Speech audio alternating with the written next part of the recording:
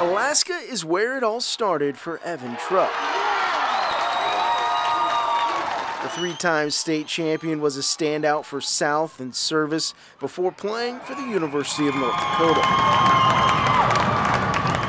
I kind of, I came straight from the hospital to, uh, to be here. So. For the first time in 13 years, he'll be back in Alaska for the hockey season. It was my last day of chemo, so just it's been uh, pretty big roller coaster all the way through it. Trupp was playing professionally in Germany last spring when he was diagnosed with stage 2 Hodgkin's lymphoma and had to return home for treatment at the Alaska Native Medical Center. You can look at it in a very negative way. Um, but I've been trying to just stay very positive about it. It all began in February when he took this video and discovered something wasn't right with his neck. I, I was laying down in bed and I felt a lump on my neck and I just thought it was like a, a bone or muscle that I'd never noticed before, uh, but it wasn't on the other side. And I didn't say anything because I just didn't think much of it. A month later, he'd fly back to Anchorage for chemotherapy.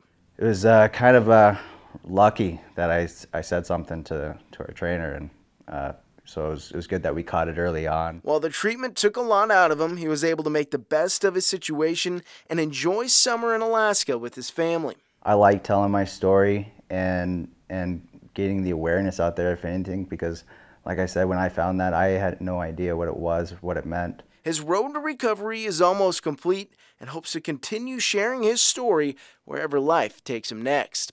Patrick Enslow, Alaska's news source.